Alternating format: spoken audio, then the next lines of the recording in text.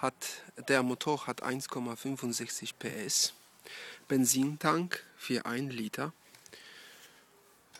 Poolstart, Zündkerze, Luftfilter drin, Gehäuse, Halterungen mit Schrauben, zwei Metallstützen und Antriebsrolle.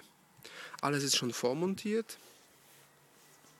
Dazu kommt ein Gasgriff mit Killswitch, mit Ausschalter. Und eine Gassäule. Also ein komplettes Set. Man muss halt nur montieren. Es dauert circa, Montage dauert circa eine Stunde. Mehr Info bekommen Sie unter www.moto